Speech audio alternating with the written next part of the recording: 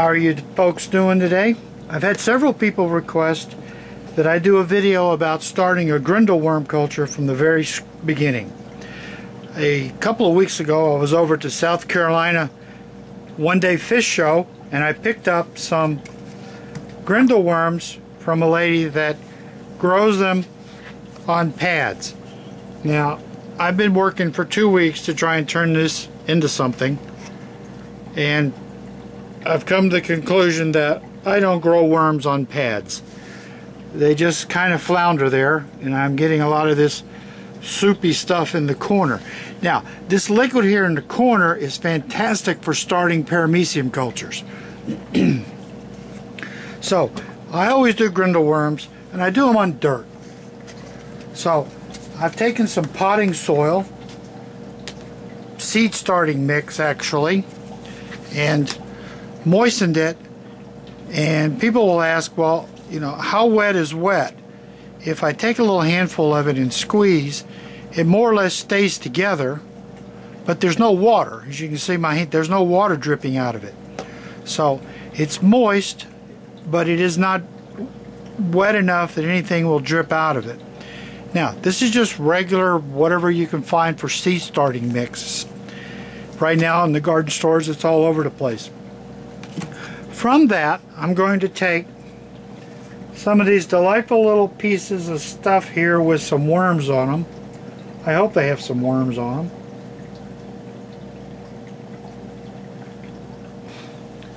I'm just going to take these clumps of worms, try and scratch some off, hoping there's worms in there, and move these things over onto my potting soil. I know there's a lot of worms in here. Maybe I can manage to lift a few. These cultures were actually doing much better when I first got them. The lady was pretty good at it, very impressive. And what I'm doing is just horrendous. I'm getting so few worms off of this culture. I'm going to try and rub some up without killing them. It really isn't working too well. That at least there's some down in this bottom mess. So I'm going to try pouring some of that onto my soil. You can see at least I know there are some worms making the trip over there. That's a lot of water to try and do something with in that soil, but we're going to let it go like that.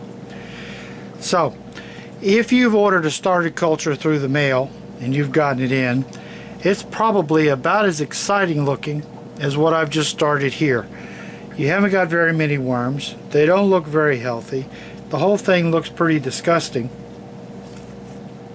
But it's all you got to work with. The good news is, is that these worms reproduce fairly fast if they're even remotely happy. I'm going to put some dog food back on this stuff to see if I can kind of keep my straggling little worm collection here going. This is just a regular dog food. You can use cat food too.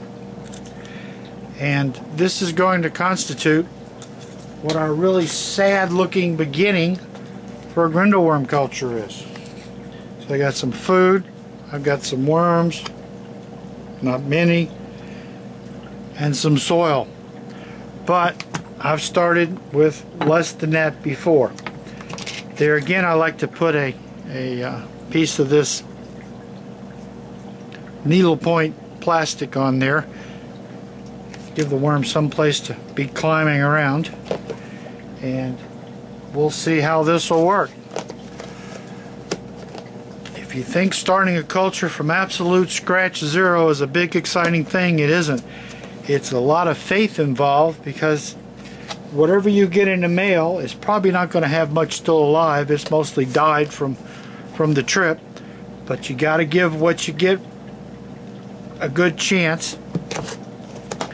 And we'll get this going. And you never know, maybe I'll uh, figure out how to get them working on the sponges like the lady was doing. Thank you for watching.